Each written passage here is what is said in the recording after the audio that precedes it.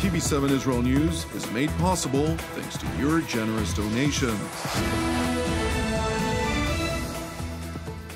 Shalom and good evening. This is TV7 Israel News broadcast to you from Jerusalem and in today's top stories.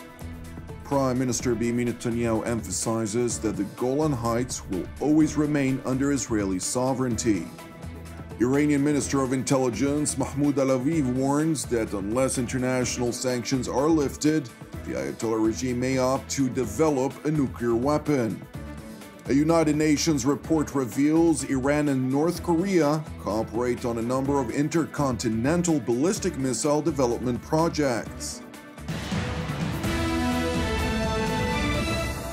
Israel will not be deterred by hypocritical and outrageous attempts to prevent it from protecting its citizens from any threat.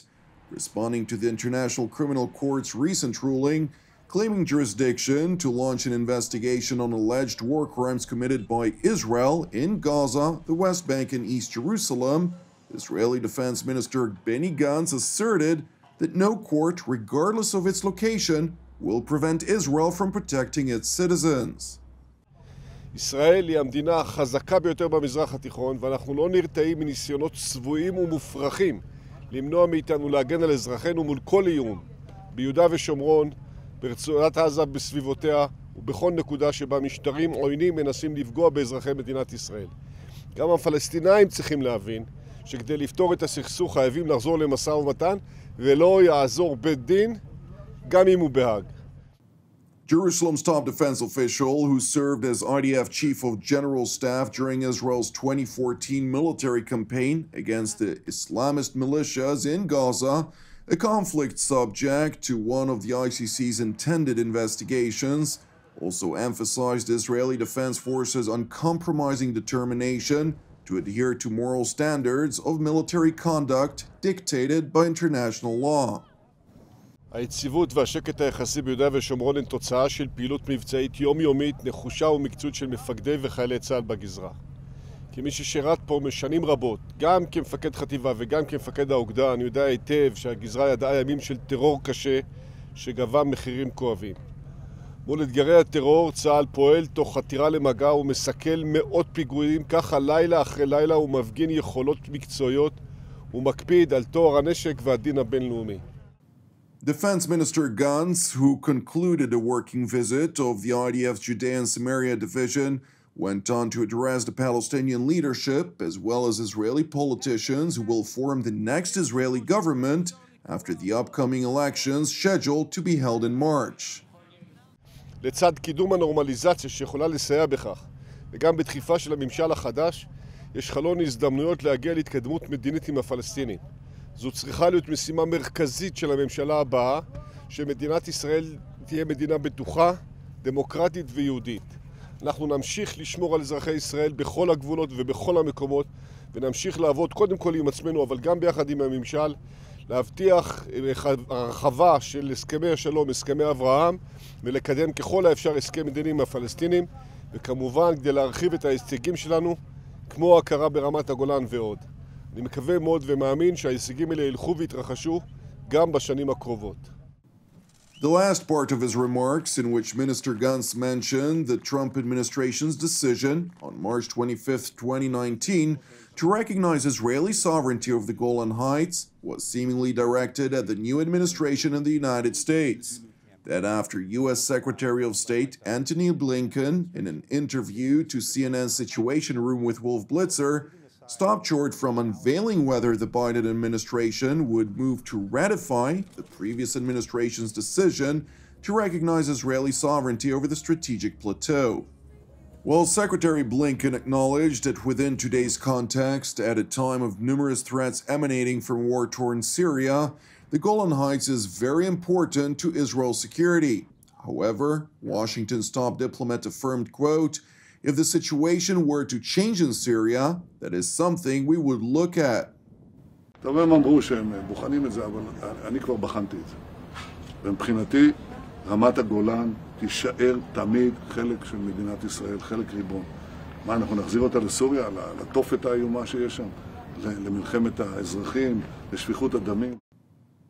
Turning from the Golan Heights westward, where the IDF concluded a military exercise titled Lightning Storm, which was conducted in the northern command of the Israeli military along the border with Lebanon.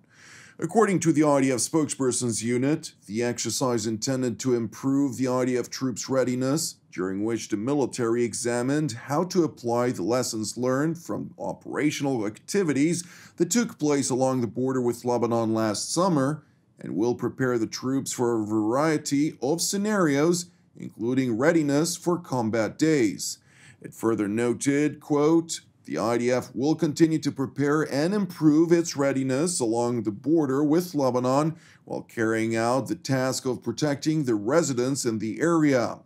It is worth mentioning that the exercise came less than a week after IDF Chief of General Staff Lieutenant General Aviv Kochavi held a meeting with UNIFIL Force Commander Major General Stefano Del Col.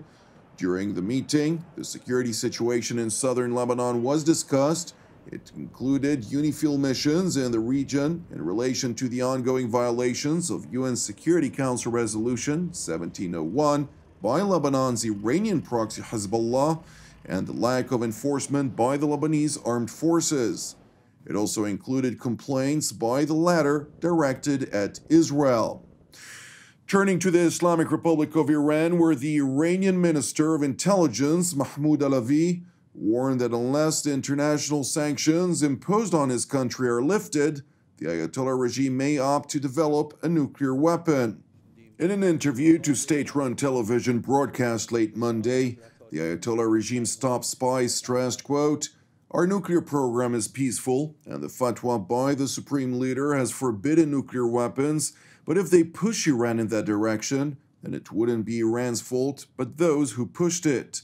Minister Alavi further stressed, quote, if a cat is cornered, it may show a kind of behavior that a free cat would not.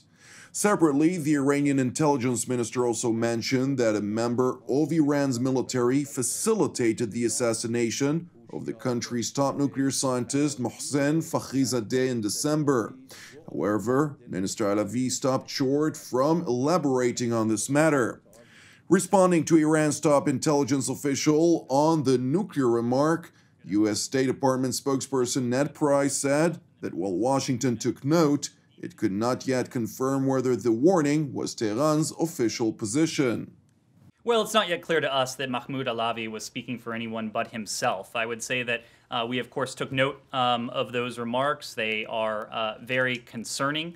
Um, uh, would also note, uh, and I referenced this yesterday as well, uh, that Iran has an obligation under the Nuclear Nonproliferation Treaty, the NPT, never, never, never, never, permanent prohibition uh, to acquire nuclear weapons. Uh, and it reaffirmed uh, that commitment uh, under the JCPOA. Um, uh, I think that's where we where we leave our reaction.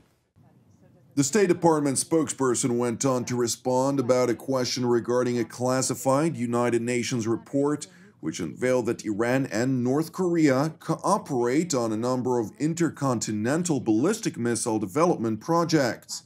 Per the report, quote, this resumed cooperation between Iran and North Korea is said to have included the transfer of critical parts, with the most recent shipment associated with this relationship taking place in 2020. Well, I, I don't think it really changes our strategic orientation uh, uh, to Iran. Um, you know, if the if the old adage is trust and verify, uh, in this case, it, it may be mistrust um, and, and, verify. Um, uh, when it comes to this report, uh, we've seen uh, the press reporting, of course. Um, we won't comment on a UN report that has not yet been published. Um, but it is true that we continue to use a variety of nonproliferation tools uh, to work to prevent the further advancement of Iran's missile program and its ability to proliferate uh, this technology uh, to others, and, including North Korea. Um, and this includes working with our partners um, to stop specific shipments of equipment and technology to these programs, using our engagement in uh, multilateral fora to raise awareness of Iran's missile activities, uh, and to urge countries uh, to take steps to address these activities, and finally imposing non-proliferation sanctions um, pursuant to our domestic authorities against entities uh, supporting Iran's uh, missile program.